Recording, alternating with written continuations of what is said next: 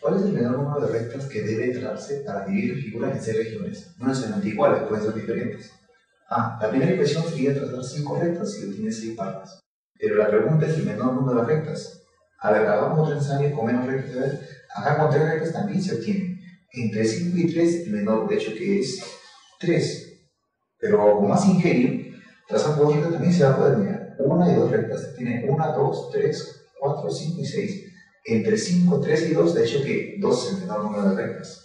Va a ser imposible que con una lo obtenga, ¿de acuerdo? Por lo tanto, la respuesta a este problema sería la